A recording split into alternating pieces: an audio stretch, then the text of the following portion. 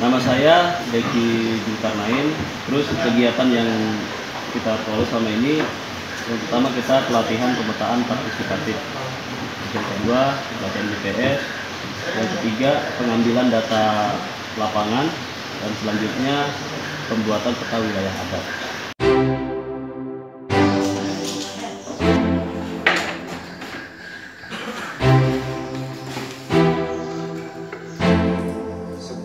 Bisa bekerja.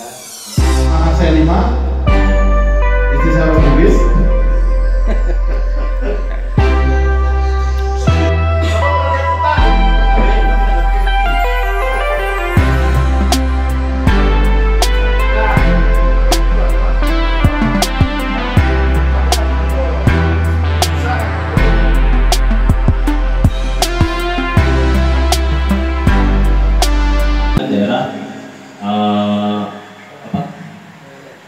Ya, Pengadan dan Kaubun, Kecamatan Kaubun. Nah, sama seperti Batu Lepo. Batu Lepo juga mendata kawasannya yang di daerah berbatasan dengan tepian trap dan seterusnya. Nah, Karangan, Karangan ini kan di, di tengah. Nah, Karangan ini merupakan penguat, penguat mengatakan bahwa inilah wilayah adat kita dari desa yang di Batu Lopo dan uh, Bay. Nah di dalamnya, di dalamnya itu kan internal kita yang bersampingan. Nah seperti karangan hilir ke Batu Lopo, seperti karangan seberang ke desa Bay dan Pengadap itu kan internal. Yang perlu kita kuatkan itu di luar dari wilayah yang ke berbatasan dengan pihak lain. Ada perlu saya sampaikan sedikit artinya atas disampaikan Pak Edi tentang Desa Bay, Pengadan, Obun, dan Ngalor. Besar kemungkinan waktu kami sangat apa ya, sangat panjang masalah itu. Karena antara desa ini kita ada kesulitan komunikasi. Itu paling tidak kita mengundang resmi menghadirkan mereka.